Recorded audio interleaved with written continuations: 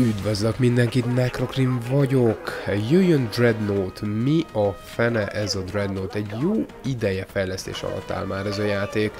és úgy veszem észre, úgy gondolom, hogy most ért el egy olyan állapotában, ahol esetleg egy olyan hogy is mondjam, rendszer került bevezetése, ami sokkal igazságosabbá teszi ezt a free to, amúgy free-to-play játékot PC-n. PS4-en uh, jelenleg zajlik egy beta, szóval hogyha szereted a nagy űrhajókat, és nagy rakéták, és bim bam bum, és mindez belehelyezve 8v8 multiplayer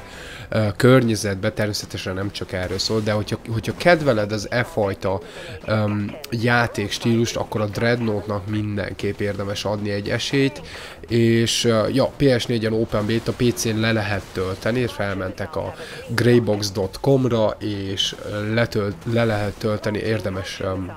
adni neki egy esélyt. De mi, mi is tulajdonképpen a Dreadnought? Tehát a játék úgy indul, hogy kapsz egy űrhajót, és mondjuk konkrétan egy csomó űrhajót kapsz, kapsz egy ötfajta űrhajót, mert ilyen osztályok vannak a különböző űrhajók között, és a kapitánya lehetsz egy ilyen űrhajónak, és a testre, testre szabhatósági határa nagyon-nagyon széles, legalábbis űrhajók terén, mert a kapitányok terén um, kicsit szűkösebb a testre szabhatóság, de rohadtól még, mert amúgy se látod nagyon magadat, csak a kör végén,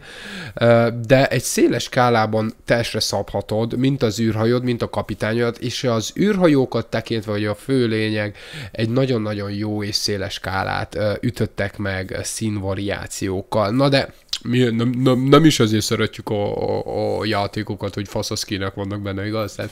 beszélgessünk egy kicsit a gameplayből. Tehát, mint mondtam, van öt, öt fajta osztály. Tehát van egy ilyen a, a romboló osztály, favorite, van egy ilyen romboló osztály, tényleg masszív um, fegyverzettel állátva és sebzéssel és masszív sebzést is tud elnyelni, viszont rohadtul, rohadtul, rohadtul lassú, és emiatt nagy veszélybe tud kerülni, hogyha egy páran elkezdenek felé. Tehát sok damage el tud nyelni, de amikor már ketten hárman lövik, akkor nem nagyon van menekvés, mert nem tud elég gyors lenni. Van mind, e, emellé például van egy healer fajta hajó is, ami konkrétan heal az ő, az ő legnagyobb um, előnye mondjuk, hogyha, hogyha megragad a, a, a romboló osztály uh, mellett, és, és próbálja őket gyógyítani, és esetleg kisegíteni, hogyha egy hajó túl közel kerül, és akkor, akkor tud némi damage-et kiosztani, de amúgy a szerepet tényleg ilyen supportív, hogy támogassa a nagyobb hajókat, hogy nagyobb rombolást tudjanak végezni. Aztán van egy sniper fajta űrhajó is, nevezzük így, tehát tényleg távolról um, fogja és um, snipe az enemiket, azt kell mondjam, hogy nagyon-nagyon sebe sebezhető, ezért tényleg távol kell magad tartanod a csatának az igazi velejétől, és nagyon trükkösen kell vele játszani. Igazából úgy veszem észre, hogy ott, ahol kell besegíteni. Ez nem az a fajta például űrhajó lesz, ami önmagától le fog szedni bármilyen űrhajót is, ha bár a, van egy kisebb fajta űrhajó, az két lövésből leszedi, ahogy észrevettem, de uh, szóval nem az a fajta űrhajó önmagától leszed, de hogyha megfelelő időben lövő, lövöd ki azt a löveget, teljes mértékben ellophatod a uh, a többi játékosoktól, és van egy kisebb klassz, aminek hát nem tudom, nevezik úgy korvett, tehát tényleg egy ilyen mozgékonyabb hajóról van szó, és a célja tényleg az igazából, hogy ahogy én vettem észre, nagyon jól el lehet vele terelni az eneminek a figyelmét, és közben egy, egy viszonylagos erős um, sebzést kiosztani, miközben természetesen egy ilyen um, hogy is mondjam, gerilla harcot lehet vele vívni, hogy odamész, lecsapsz, visszavonulsz, odamész, lecsapsz, visszavonulsz, és így ki tudod segíteni um, a rombolókat. Tehát, a, ahogy veszem észre a játék valójában egy, egy tényleg erre a, inkább a romboló osztályra fókusz és annak a csatáira, uh, de minden, mindenképpen bármelyik osztályt is választod, hogyha megtanulsz vele rendesen játszani, hogy észreveszem, akkor nagyon uh, lehet dominálni a pályán. Szóval így, így lehetne leírni, így röviden a játékot. Na most Pályákat tekintve, ne úgy képzétek el, mint, mint hogy egy ilyen nagyon-nagyon-nagyon nyílt terep ide-oda utazol, akarsz, című történet is becsatlakozol egy csatába, nem, a, a szerver összedob, tehát a rendszer összedob 8v8 játékosokat, és vagy bolygón, vagy űrben lehet harcolni, és mindegyiknek megvan a maga előnye. A pályák nagyon jól meg vannak csinálva fedezék szempontjából, kerülés, flanking szempontjából, tehát uh, ki van találva okosan, és um, nagyon szórakoztató tud lenni a multiplayer részen. Na most, viszont ugye nincs pánik. Mi van, mi van hogyha új játékos vagy ebbe a játékba, és uh, én is attól féltem, hogy már mivel hogy a játék már egy jó ideje megy, és hogyha becsatlakozom egy játékba, akkor mi lesz, hogyha sokkal veteránabb játékosokat kifogok, mennyire a fegyverzete az űrhajónak, mennyire lesz hatékony, mennyire nem lesz hatékony, ki fogok kapni, és, és ilyen, ilyen félelmeim voltak, viszont, viszont egy nagyon kellemes meglepetés ért. Um, azt kell, hogy mondjam, miközben játszottam, mivel a játékban többfajta játékmód van, de akad egy köztük, ami konkrétan a Proven Grounds, valami ilyesmi a neve, de konkrétan PvE folyik, tehát játszhatsz te és néhány társad, egyedül vagy néhány társaddal, játszhatsz mesterséges intelligencia ellen, és akkor bedob, és mesterséges intelligencia ellen konkrétan felfarmolhatod azt a általad kiválasztott űrhajót, és, vagyis hát csatahajót inkább nevezzük így. Szóval az általad kiválasztott csatahajót felfarmolhatod, és hogy is mondjam, egy kicsit kompetitívebb közegbe um, helyezheted. És ami még, még pozitívum, mind ami erre rájön, hogy mindenvelé benyomtak neked, hogy egy ilyen kis kezdő, egy ilyen kis mini tutoriált, és a mini kis tutoriálikon végigmész, sok extra XP-ket nyersz, extra játékbeli kreditet nyersz, és nem beszélve uh, úgynevezett greybox pontokat is nyersz, az, az, a, az, az, a, az a pénz nem a játékban, amit igazi pénzért vásárolhatsz meg. Szóval a játék teljesen kitámogat uh, az elején ahhoz, hogy egy kicsit felfelesd az űrhajódot, és hogyha oda kerülsz egy kompetitív játékba, tehát a PvP játékba, akkor nehogy már teljesen esélytelenül um, induljál, és ez egy nagyon jó dolog, szóval bármikor úgy érzed amúgy, hogy új fejlesztésekre kell farmolni kell, erősebbnek kell lenni, akkor mindig visszatérhetsz ebbe a PvE környezetbe, a Proven Grounds-ba, és, és egy kicsit farmolhatsz, mondjuk nem is kicsit, uh, farmolhatsz, és akkor erősebbé teheted az űrhajodat, és itt, itt ugrik be um, a kérdés, ugye, hogy, hogy mennyire pay to win ez a játék, és Beszélgetve, ez, ez volt a legnagyobb félelem, és az ez, ezelőtt pár um, ezelőtt pár hónappal lévő, nem is pár hónap igazán, nemrég változtattak az XP rendszeren és a uh, rendszeren a, a fejlesztők, szóval um, érdemesebb pénzt költeni, minden játékra érdemes pénzt költeni, hogyha szeretnéd, ez természetesen rajtad áll, de mit kapsz a pénzedért? Tehát, hogyha valódi pénzt költesz arra, mit kapsz a pénzedért? Na most Uh, úgynevezett hőshajókat oldhatsz föl, amik uh, tulajdonképpen azonnali hozzáférést nyújtanak a fejlettebb fegyverekhez. Na most, a fejlettebb fegyverek terén még, én még nem költöttem igazi pénzt, mire megesett, én nem is fogok költeni rá igazi pénzt, mert digitális kontentért konkrétan, ilyenfajta digitális kontentért annyira nem szeretek pénzt költeni. Kivéve, hogyha nagyon-nagyon belemerülök és ilyen mainstream játék lesz az az adott játék. Na most ugye azt állítják, hogy nem pay to win című a játék ezen a téren, hogyha befektetsz pénzt, viszont mégis hozzáférést kapsz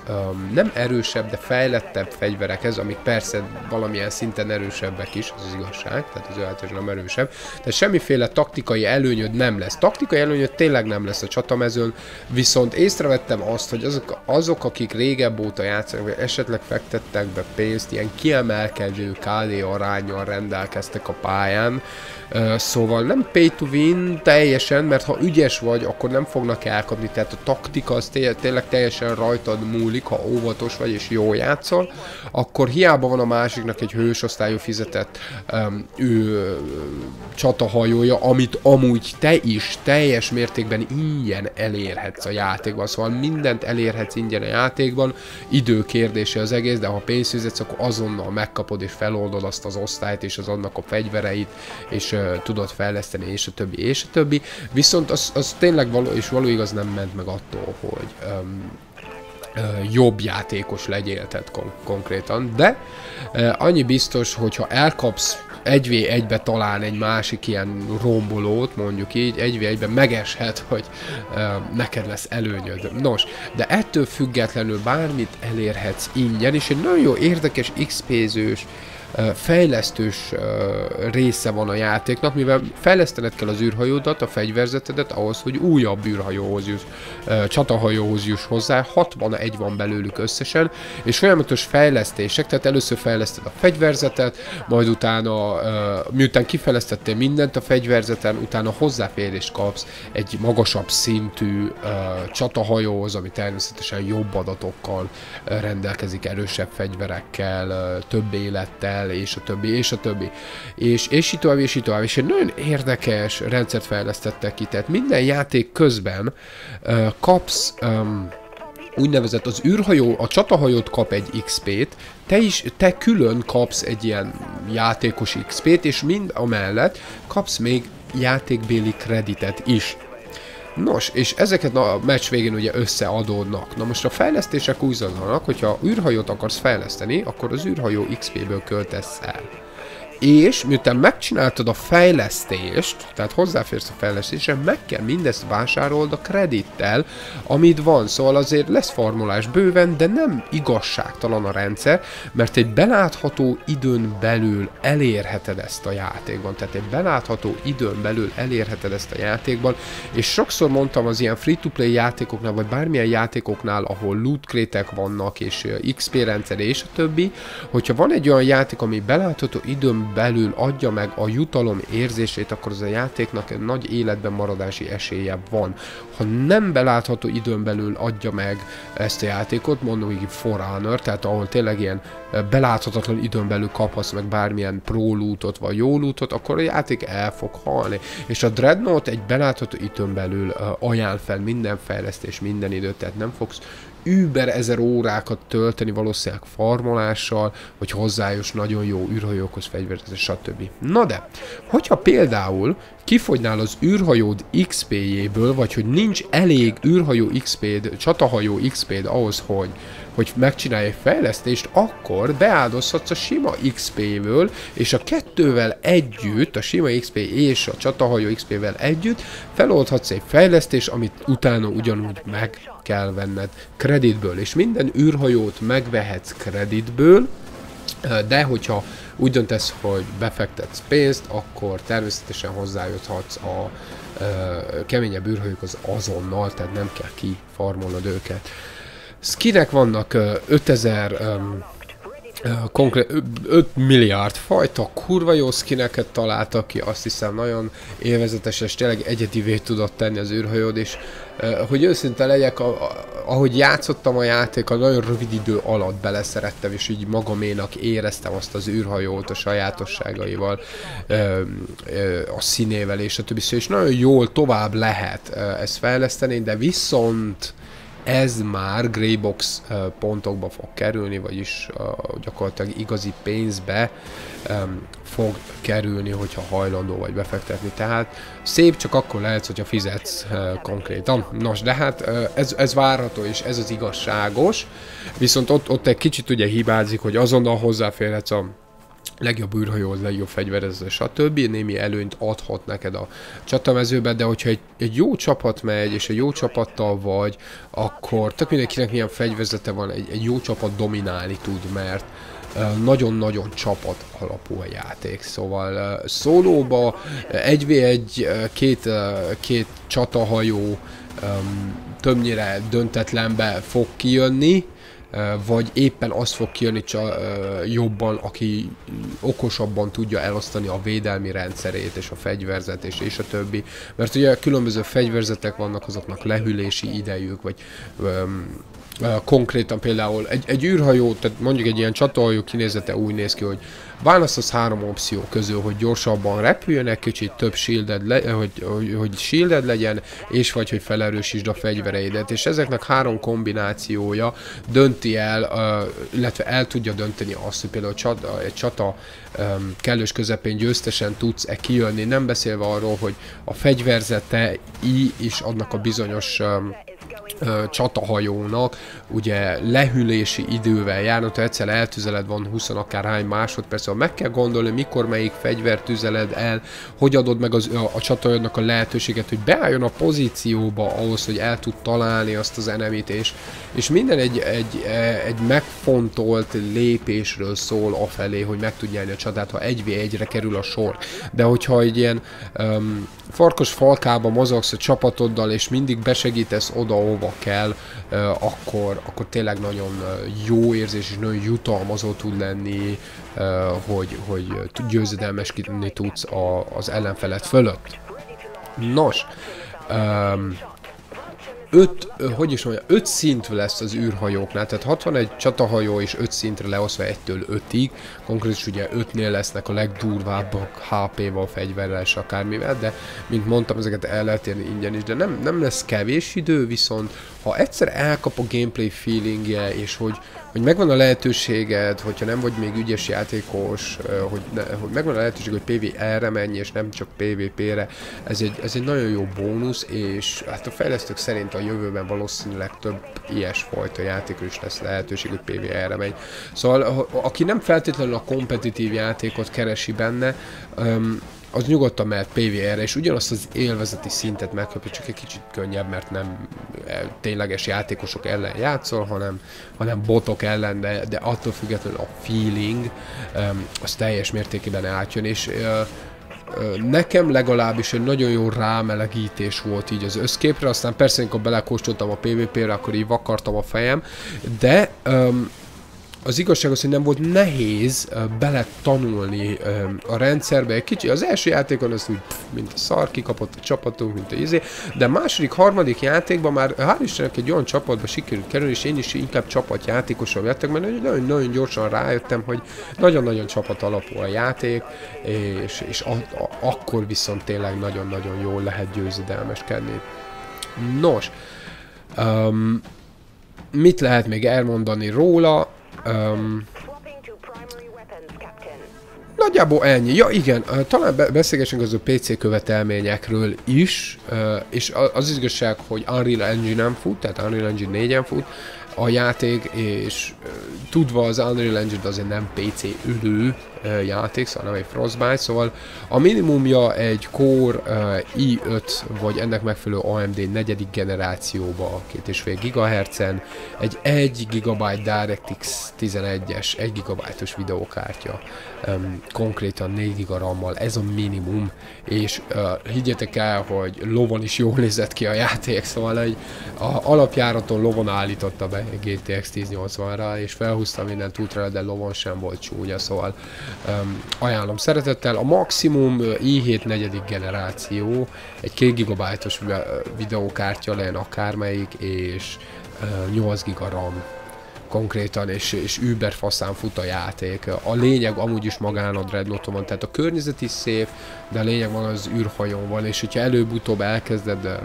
hogy is mondjam, testre szabni az űrhajót kinézet szempontjából, akkor, akkor nagyon örülni fogsz neki, hogy, hogy, hogy lovon is jól néz ki a játék um, konkrétan. Nos,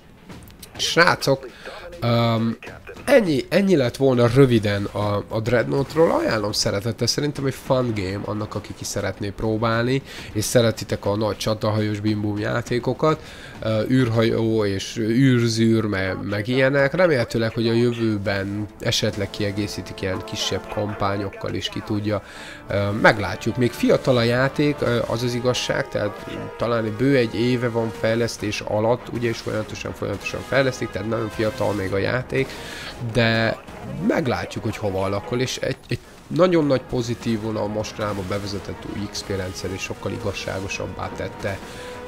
az egész XP nyerést, fejlesztést és a többi és a többi. És ja, hogyha PS4-en vagy, akkor adjál neki egy próbát, mert